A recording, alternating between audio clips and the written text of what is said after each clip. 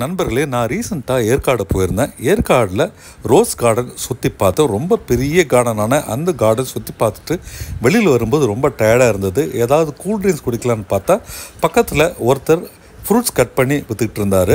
ஃப்ரெஷ்ஷாக இருக்குமேன்னு சொல்லி நாங்கள் ஃப்ரூட்ஸ் ஆர்டர் பண்ணோம். அவர் ஏற்கனவே ஃப்ரூட்ஸ் எல்லாம் கட் பண்ணி ஒரு கப்பில் வச்சுருந்தாரு. அதை தவிர ஃப்ரெஷ்ஷாக அப்போ தான் வாட்டர் மெலனை எடுத்து கட் பண்ணிட்டு இருந்தார்.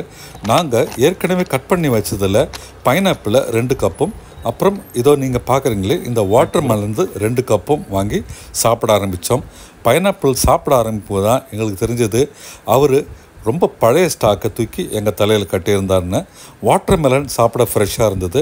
ஆனால் பைனாப்பிள் பழைய ஸ்டாக் அதாவது அநேகமாக முன்னாள் ஸ்டாக்கை எங்கள் தலையில் கட்டியிருக்கிறாரு. நான் அவர்கிட்ட இந்த மாதிரி பழைய ஸ்டாக் கொடுத்தீங்கன்னு சொன்னால் அவருக்கு எந்த விதமான ரியாக்ஷன் இல்லாமல் உட்காந்துருந்தாரு எங்களுக்கு ரீப்ளேஸ்மெண்ட்டும் எதுவும் தரலை.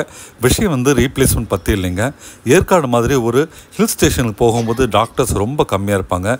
இந்த மாதிரி வியாபாரிகள் கண்டிப்பாக அதை உணர்ந்து நல்ல பொருளை மட்டுமே மக்களுக்கு கொடுக்கணுங்க. நீங்கள் ரோஸ் கார்டன் போனீங்கன்னா இவர்கிட்ட எதுவும் வாங்கி சாப்பிடாதீங்க. கௌரவமாக இருங்க.